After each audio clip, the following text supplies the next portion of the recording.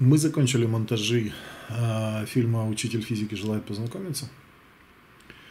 Ну и тут сразу возникла масса вопросов у наших друзей, там, последователей, людей, которые э, начали покупать, ну, как бы онлайн-билеты для того, чтобы посмотреть премьеру нашего фильма. Мы объявим дату, это будет май, скорее всего, вторая половина мая.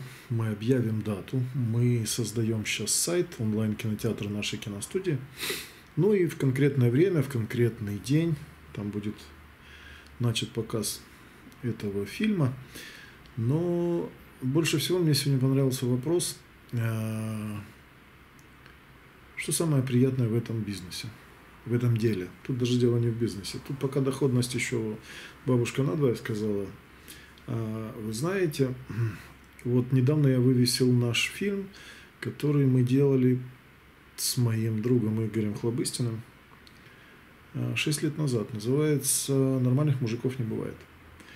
Э, в принципе, фильм по технологии, он примерно схож. То есть это low budget, это малобюджетное кино, которое снято, ну, в общем-то, теми камерами, теми ресурсами, которые можно найти в природе. То есть вы идете, например, там, какой-то электронный магазин, там, типа ДНС, Эльдорадо, там, я не знаю, другие какие-то магазины. Покупайте камеры, которые там есть, фотоаппараты, ноутбуки, да.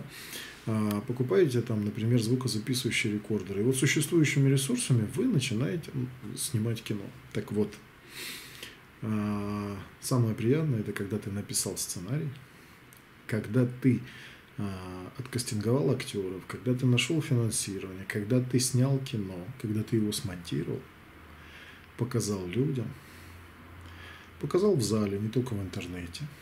И вот когда после фильма люди стоя тебе аплодируют, у меня такое в жизни было два раза. Это не сравнить ни с чем. То есть по уровню энергетического заряда это занятие, наверное, самое энергоемкое. И поэтому мы даже не столько ради заработка это все делаем. Понятное дело, что заработок это там топливо, чтобы машина ехала. Мы это делаем для того, что на нашем рынке нет человеческих историй, которые мы хотим рассказать. И вот это в нашем деле, не хочу говорить бизнесе, самое приятное, самое увлекательное.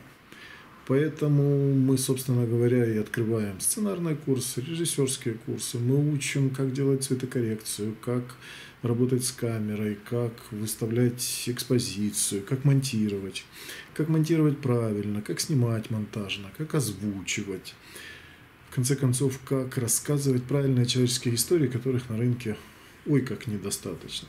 То есть кино у нас растет, а, кинематографисты работают, выходят хорошие фильмы, но правильных историй, которые нужны сегодня, их очень мало. И мы поэтому развиваем это направление деятельности и приглашаем всех желающих. Как-то так.